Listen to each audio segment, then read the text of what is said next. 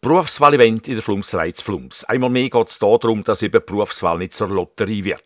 Über 50 Firmen aus Industrie, Handel und Gewerbe aus der Region Sarganserland und Umgebung haben sich präsentiert und den Jugendlichen einen Einblick gegeben. Ich habe mit dem Laufbahnberater von der Berufsberatung Sarganserland, der Markus Roth, gefischt und er hat diverse Leute befragt. Du bist lernender Schreiner. Ja. Was zeigen dir da die Schüler, die zu eurem Stand kommen?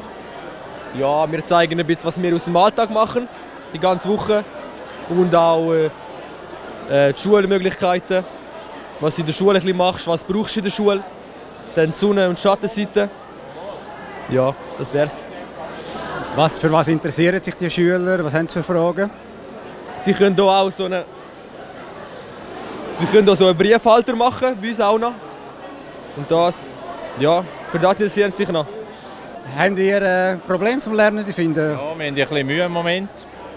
Aber ist immer, wenn es der Wirtschaft ein bisschen besser geht, geht es uns ein bisschen schlechter. Und das Handwerk ist einfach schwierig zu zeigen, den Jungen, oder?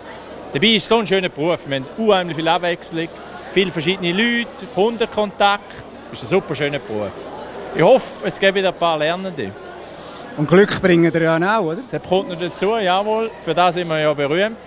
Kommt ja darauf zurück, weil früher noch viele Städte abgebrannt sind, weil wirklich keine brennt sind, oder, vom Ruß.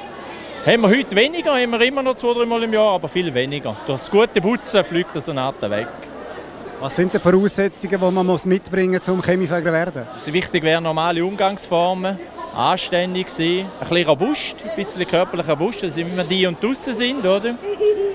Vielleicht gutes Vorstellungsvermögen wäre noch wichtig. Wenn wir wirklich können vorstellen wo der Zug durchgeht, vom Rauch bis er im Chemie ist, da wäre etwa alles. Also ganz einfach gesagt. Wie ist das gewachsen oder wie hast es du äh, am Anfang erlebt? Ja, wenn ich an die ersten Events zurückdenke, das war natürlich ein, ein kleiner Anlass. Gewesen. Wir auch noch dazu mal haben jahrelang den KV-Stift müssen stellen, weil niemand anders vorhanden war. Aber es ist schön, es ist schön wenn wir heute hier schauen, das hat sich heute geändert und ich finde das toll, die Entwicklung ist super.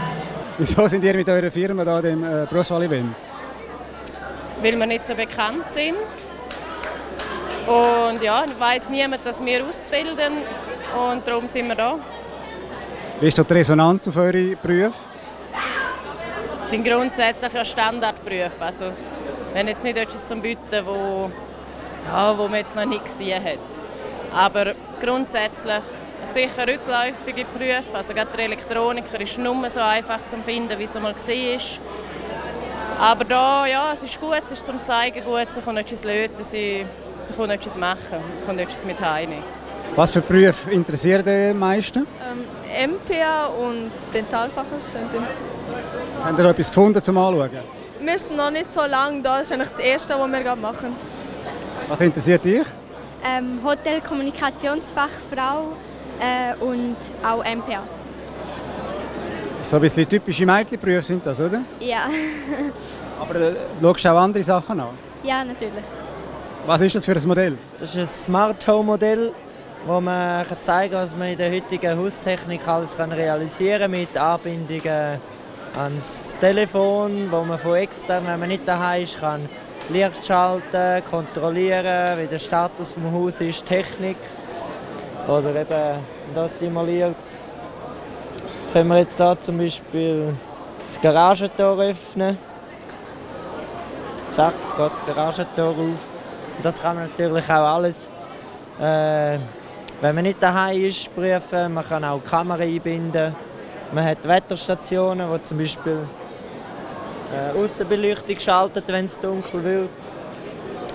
PV-Anlage hat man die Werte auf dem iPad, kann man schauen, was produziert wird. Wenn man das Haus verlässt, kann ich da unter zentral das komplette Haus dunkel machen mit einem Knopf. Das sind einfach so Sachen, die einem den Alltag ein bisschen erleichtern sollen. Und so ein Modell bauen, ist das Lehrlingsarbeit oder könnt ihr das noch nicht? Mal, das ist äh, Lehrlingsarbeit. Natürlich äh, in Zusammenarbeit mit den Lehrlingen. Oder? Und dann äh, ist natürlich auch ein schönes Modell, um ein bisschen üben, auch die ganze Programmierung dahinter mal anschauen. Ja. Habt ihr jetzt für eure Berufsgruppe auch Mädchen, die sich interessieren oder nur Buben? Es gibt auch Mädchen. Wir haben, äh, das Jahr war eine bei unserem Schnuppern. Gewesen. Und die will auch wirklich Automatikerin lernen.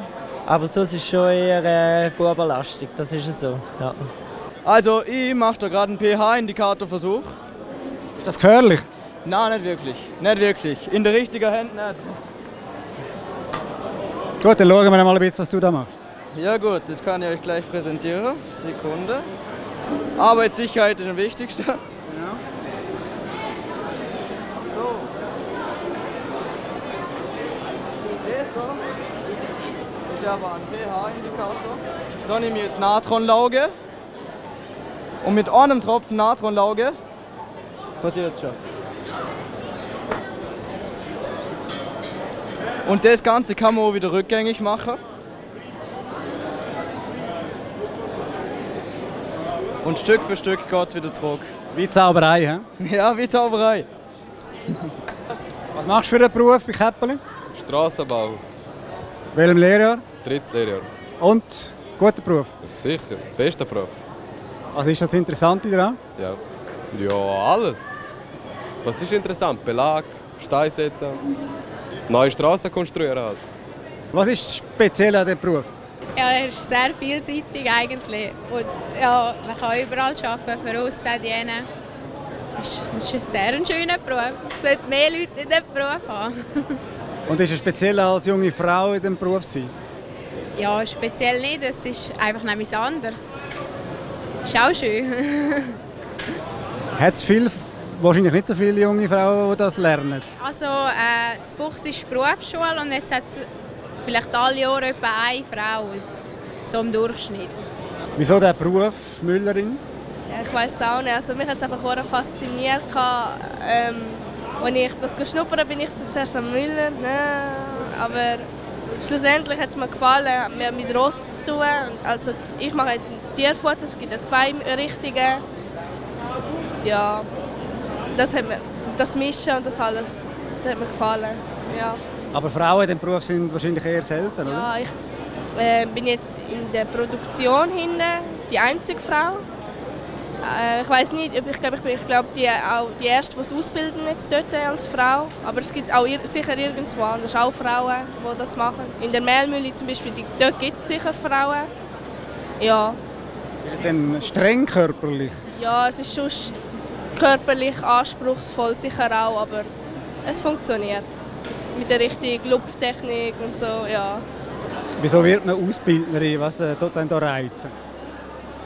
Mich reizt eigentlich ziemlich viel an dem Ganzen. Also, ich finde die Arbeit mit den jungen Leuten sehr lässig. Äh, ich tue auch gerne mein eigenes Wissen weitergeben und für mich ist vor allem auch die Entwicklung des Berufs sehr wichtig. Also Qualität und äh, Weiterentwicklung des Pflegeberufs ist für mich sehr wichtig.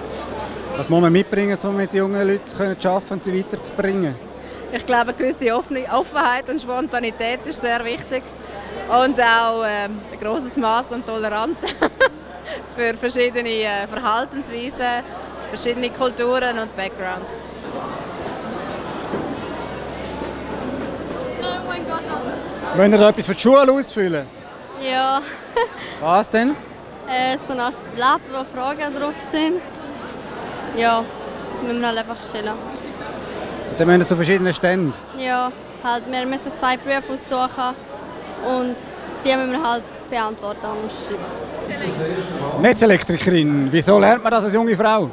Äh, weil ich einfach Priorität habe in meinem Beruf. Ich will draußen arbeiten, ich will mit anderen Leuten zusammen arbeiten. Ich will ähm, einfach auch weiterkommen im Leben, einen Beruf haben, den man immer wieder braucht.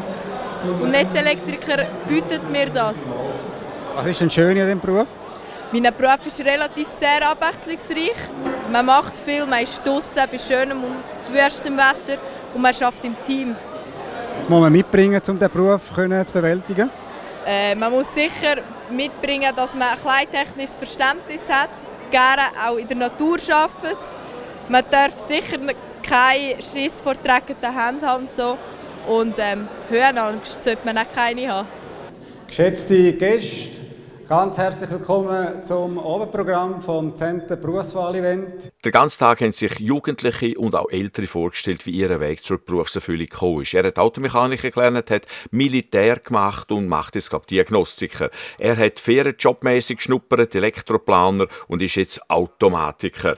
Ja, und sie ist Spanierin. Sie ist ja glaube drei, vier Jahre da, hat eine Polizeischule machen, glaube Spanien, ist nicht dazugekommen, ist jetzt im Moment aber Produktionsmechanikerin eben bei Bart. Sie hat Kante gemacht, äh, möchte nachher eine Fachhochschule auf technischem Bereich machen, so wie ich verstanden habe, macht es eine Way-Up-Lehre, damit sie das technische Know-how hat und ist eben auch jetzt äh, momentan eben bei Bartolet. Sie kommt vom Flumsenberg, hat immer gewusst, sie will nicht in Kante gehen, macht jetzt eine KV-Lehre bei der Raiffeisenbank und ist auch voll begeistert. Sie sagt, sie ist inzwischen fast ein Teenie geworden, jetzt weil sie zusammen ist eben mit diesen Jugendlichen, hat ursprünglich mal Bäcker Konditor gelernt, ist bei der Spitex tätig gewesen, ist Mutter und macht momentan eben Malerin. Sie hat Sozialjahr gemacht, hat dann Coiffeuse angefangen, das hat ihr nicht so gepasst, hat den technischen Bereich gesucht, ein Jahr lang Praktikum gemacht bei Bartolet und ist jetzt eine Produktionsmechanikerin. Er kommt von Eritrea, ist vier Jahre da, ist sehr dankbar, dass er bei Bartolet Mechapraktiker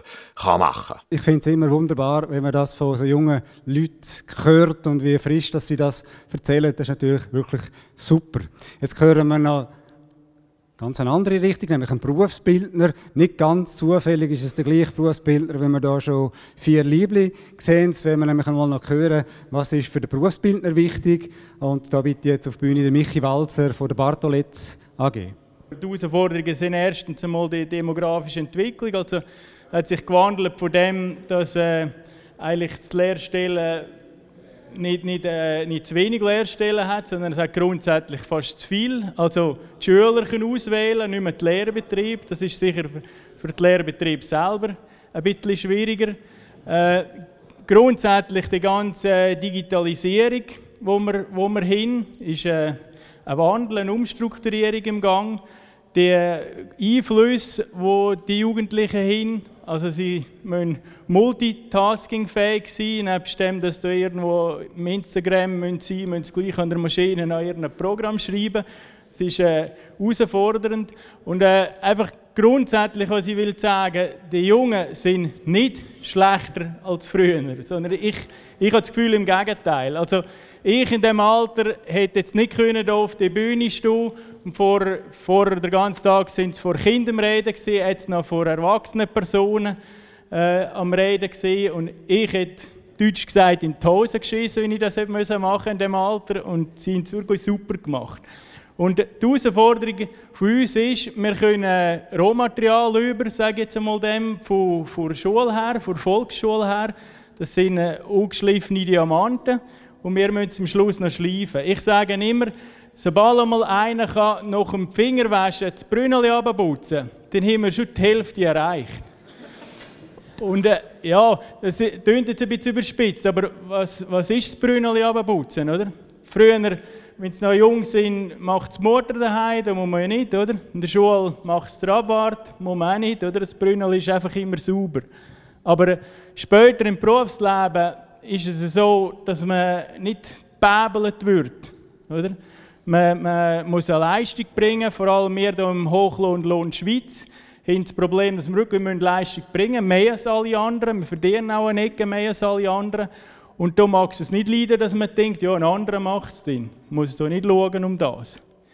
Bei uns jetzt speziell äh, lernen die Lehrlinge auch von Anfang an, vom ersten Lehrer weg, äh, mit den ganzen Kosten umgehen. Das ist für uns ganz wichtig, weil wir brauchen äh, nicht nur Berufsleute, die einfach ihre Arbeit machen können, sondern wir brauchen Berufsleute, die mitstudieren. Es müssen kleine Unternehmer sein.